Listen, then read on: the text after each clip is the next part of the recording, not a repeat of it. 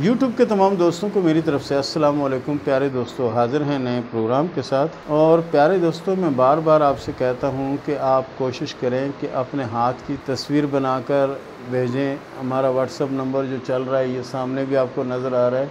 اس number پہ سوال بھی کر سکتے ہیں۔ کوئی بھی ایک سوال کریں گے، اس کا مفت جواب آپ کو ملے گا۔ اس کے علاوہ، کہ کسی عزیز، کسی جاننے والے، کسی بہن بھائی کے ہاتھ میں کوئی عجیب و غریب لکیر ہے یا ایسی کوئی لکیر ہے کہ جس کے بارے میں بہت سے لوگوں نے پریشان کر رکھا ہے آپ کو کہ یہ تو ایسا ہوتا ہے، یہ تو ویسا ہوتا ہے، اس طرح تو وہ بھی آ کے جنہیں مشورہ کر سکتے ہیں۔ تو پیارے دوستو، آج کا جو ہمارا ٹاپک ہے وہ یہ ہے کہ پریشان حال عورتیں، ویسے پریشانیاں تو ہوتی ہی عورتوں کے لیے ہیں، مردوں کے لیے تو کم ہی ہوتی ہیں۔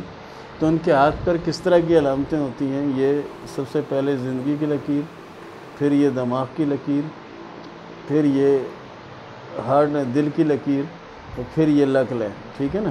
کچھ عورتوں کے ہاتھ آپ دیکھیں گے، مردوں کے بھی ہیں لیکن عورتوں میں زیادہ یہ چیز ہوتی ہے۔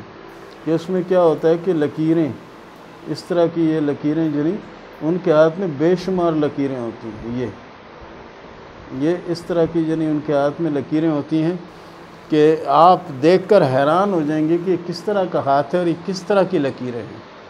یہ لکیریں جتنی جنی ہاتھ میں لکیریں زیادہ ہوں گی جتنی لکیریں بے ترتیب ہوں گی، اتنی ہی زیادہ یہ پریشان کن ہوں گی۔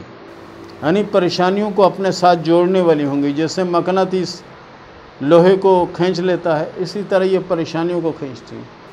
اور یہ جو ہے نا، یہاں آپ اگر اس کو دیکھیں، ان کے ہاتھ کو دیکھیں تو لکیریں الٹی سیدھی چل رہی ہیں۔ ادھر کی ادھر چل رہی، ادھر کی ادھر چل رہی، ادھر کی ادھر چل رہی۔ کچھ سمجھ نہیں آ رہا کہ کیا ہے۔ اور ایسے میں نے بے شمار ہاتھ دیکھے، بے شمار ہاتھ دیکھے، ان میں یہ چیز میں نے دیکھی۔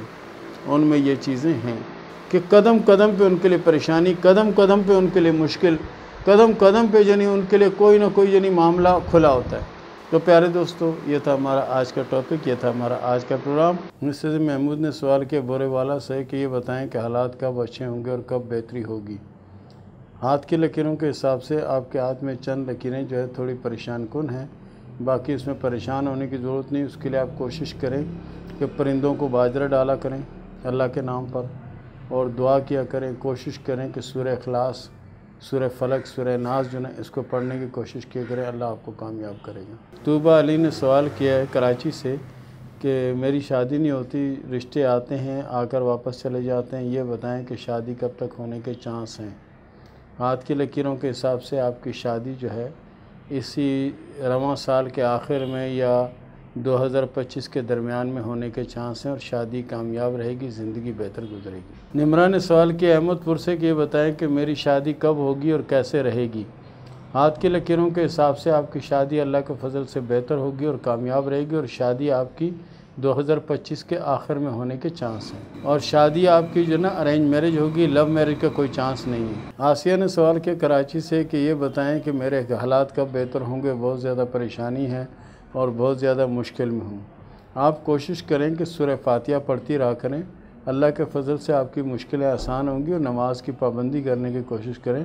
اللہ کے فضل سے بہت کامیابی ملے گی اور آپ کے ہاتھ کی لکیریں بہت اچھی ہیں۔ عمر نے سوال کیا، کراچی سے کہ قسمت کی لکیر کے بارے میں بتائیں تو عمر، آپ کے ہاتھ میں قسمت کی لکیر اگر میں بتاؤں تو چاند کے ابھار سے شروع ہوتی ہے اور یہ لکیر یہاں سے ہوتی ہوئی سیدھی اطارت یعنی چھوٹی انگلی کی سمجھ جاتی ہے۔ ایسے لوگوں کو اچانک دولت ملتی ہے اور اچانک ان کو کامیابی ملتی ہے۔ چاہے کوئی دوست ان کی سپورٹ کر دے، چاہے کوئی رشتہ دار ان کی سپورٹ کر دے، اس کو ان کو سپورٹ ملتی ہے اور یہ کامیاب ہو جاتے ہیں اور آپ کامیاب ہوں گے۔ نوشین خان نے سوال کیا اتر پردیش سے کہ یہ بتائیں کہ میری شادی کب ہوگی اور کیسے رہے گی؟ ہاتھ کی لکیروں کے حساب سے آپ کی شادی کامیاب ہوگی اور شادی کے بعد کی زندگی بہت اچھی اور بہت بہتر ہوگی۔ بہرحال کوشش کریں کہ یا اللہ یا رحمان یا خالق کو یا مالک کو اس کو پڑھتی رہا کریں، اللہ کے فضل سے مزید کامیابی ملے۔ شادی کی اسی سال میں، یہ جو رواں سال ہے، اس کے آخر میں ہونے کے چانس ہیں۔ آمنہ نے سوال کیا، ٹوبا ٹیک سنگھ سے کہ یہ بتائیں کہ میری شادی کیسے رہے گی اور میری قسمت سے شور کی قسمت بدل سکتی ہے یا نہیں اور ہمارے حالات میں کب بہتری آئے گی اور کب سب اچھا ہوگا۔ دیکھیں، آپ کے ہاتھ میں قسمت کی لکیر اچھی ہے، دولت عورت کے نصیب سے ہوتی ہے، اولاد مرد کے نصیب سے۔ اور رہی بات اولاد کی، تو اولاد کی آپ کے ہاتھ میں تین سے چار علامتیں موجود ہیں، باقی آپ کا ہاتھ ماشاءاللہ سے اچھا اور بہتر ہاتھ ہے۔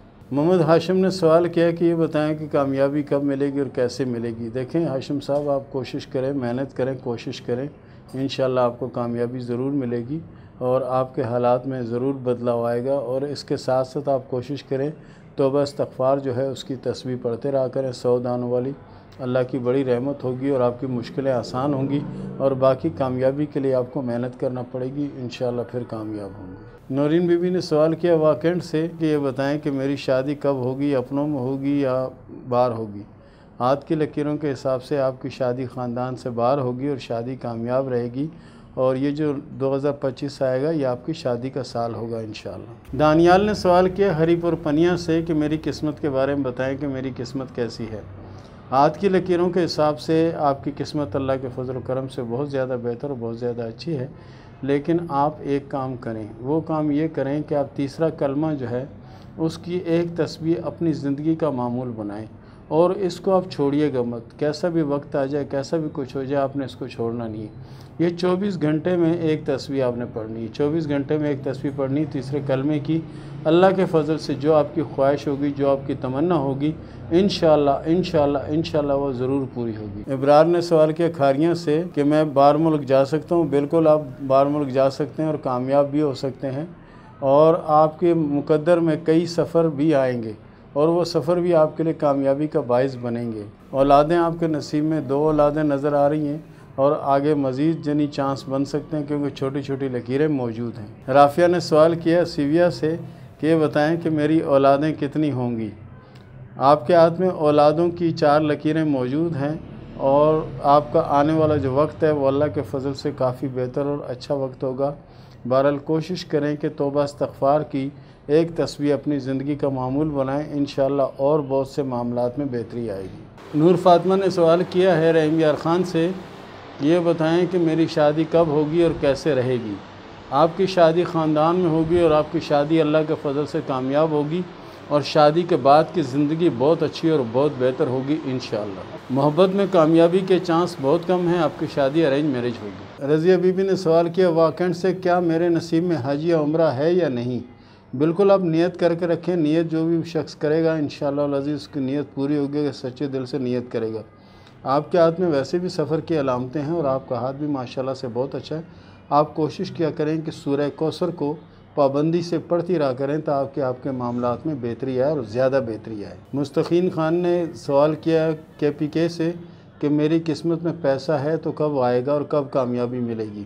پیارے دوست، آپ آج سے محنت شروع کر دیں اور اس کے ساتھ ساتھ کوشش کریں، یا اللہ، یا رحمان، یا خالق کو یا مالک کو یہ پڑھتے رہیں۔ اللہ کے فضل سے پیسہ بھی آئے گا، کامیابی ملے گی، زندگی بہتر ہوگی اور حالات بھی انشاءاللہ بہت اچھے اور بہت بہتر ہوں گے۔ خدا نے سوال کیا پشاور سے کہ میری شادی کب ہوگی اور کیسے رہے گی؟